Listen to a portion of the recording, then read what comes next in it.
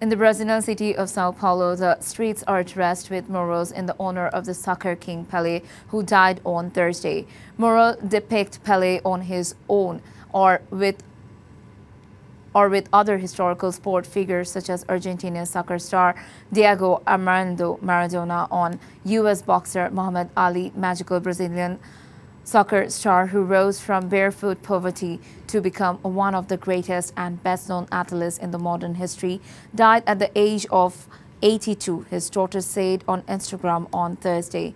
He had been in and out of the hospital in recent months after a tumor was found on his colon. Pelé scored a world number 1,281 goals and in the only player ever to win World Cup three times.